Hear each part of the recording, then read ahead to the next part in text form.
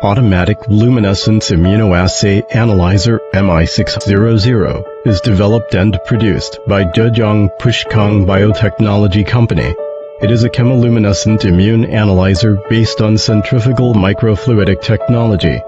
The instrument can complete the whole chemiluminescent detection process by combining with the centrifugal microfluidic disk chip.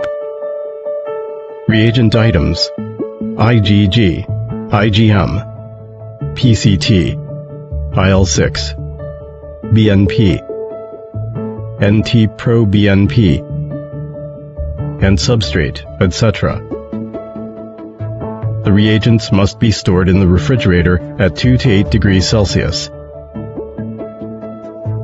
Next, I will demonstrate the use of the instrument and sample detection. 1. Rewarming. Open the power switch on the back of the instrument and enter the user and password in the system login interface.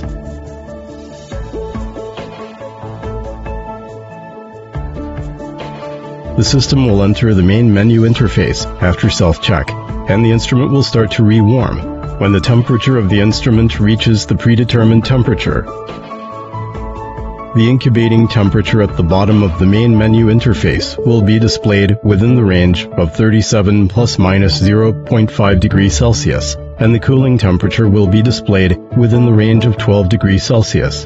If the temperature is not within the predetermined temperature range of the instrument, the system will pop up a warning and interrupt the abnormal detection in time. It is recommended to rewarm the instrument to the predetermined temperature for standby use every day. 2. Cleaning. After rewarming the instrument, it is necessary to complete the routine maintenance cleaning of the instrument. Rewarming and cleaning can be operated at the same time. Please check and make sure that there is enough cleaning liquid in the cleaning tank and enough space in the waste tank before cleaning. Then click System in the main menu. Click Maintenance. Click Pipeline Filling Cleaning. Click Start and please select Yes when it prompts Start Testing, and the instrument will automatically carry out a pipeline filling and cleaning. Routine maintenance requires three cleaning operations to be performed in this method. It is also necessary to do the pipe filling cleaning three times after starting up, before shutting down every day, or after changing the cleaning fluid. 3. Reagent calibration. Do the reagent calibration when the instrument is rewarmed and cleaned. First, input the information of reagent, calibrator, and substrate into the instrument system before loading into the reagent module. Remove the reagent and substrate from the refrigerator. Check and ensure that the reagent is sufficient. Open the cover of the instrument. Click Reagent in the main menu. Select a position for the reagent in the list. Click Scan Scan the QR code of the reagent. Click Confirm to complete the reagent information entry. Open the reagent hatch and place the reagent in the corresponding position. Click Reagent to check the reagent calibration status just entered. If Passed is displayed, it means that the reagent has been successfully calibrated and the sample can be directly tested. If Failed, or none is displayed, it is necessary to calibrate the reagent again. Click Consumables in the main menu. Click Consumables setting. Select the substrate position A or B in the list. Click Scan. Scan the QR code of substrate. Click Confirm to complete the information entry of substrate. Then click Back to the main menu click Operation and Sample Channel and select the substrate position consistent with the substrate information input in the substrate position. The instrument will automatically rotate the corresponding substrate position in the reagent module to the loading port. Please put the substrate into the corresponding position. Back to the main menu. Click Setting. Select the position of calibrator in the list and enter the index number. Click Scan. Scan the QR code of Calibrator 1 attached to the reagent package and click Confirm to complete the information entry of Calibrator 1. Click Back to the main menu. Click Select a calibration channel.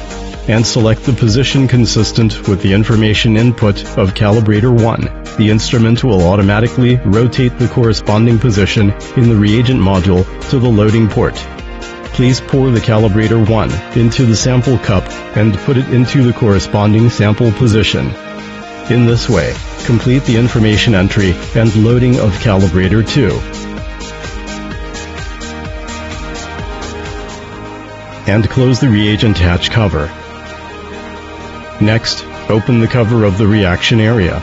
Point the perforated face of the reaction disc upward.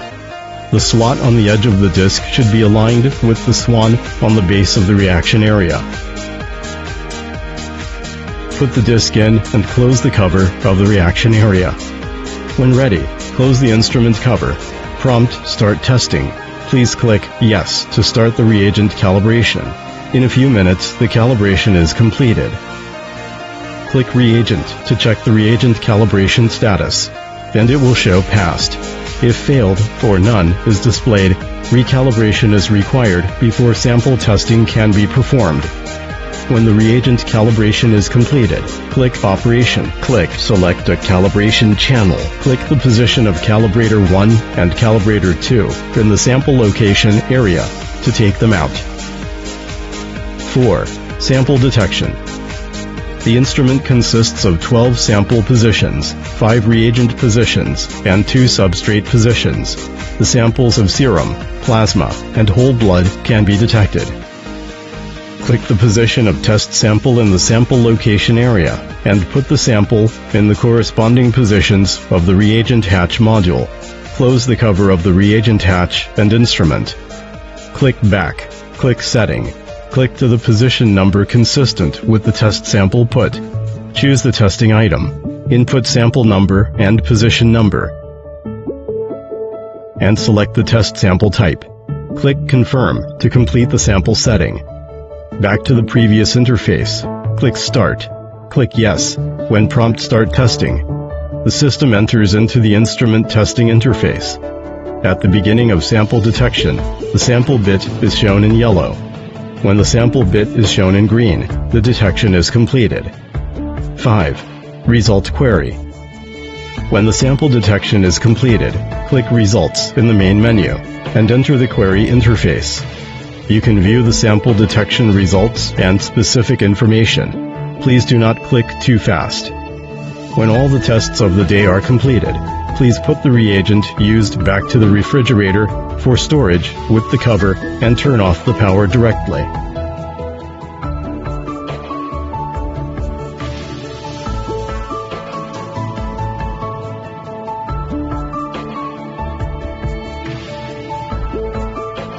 Please check the instructions of instrument and reagent for details, or contact us or your distributor. Thank you for using Automatic Luminescence Immunoassay Analyzer MI600, produced by Pushkang. If you have any questions, please feel free to contact us.